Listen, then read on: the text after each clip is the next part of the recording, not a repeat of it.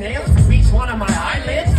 Wanna copy me and do exactly like I did? Try sit and get fucked up worse than my life is. My brain said, wait, I'm trying to get my head straight, but I can't figure out which spice girl I wanna impregnate. And Dr. Dre said, Slim Shady, you a basic. Uh-uh. And why's your face red, man? You wasted. Well, since age 12, I felt like I'm someone else, cause I hung my original self from the top bunk with a belt. Got pissed off and ripped Pamela Lee's tits off and smacked her so hard I knocked her clothes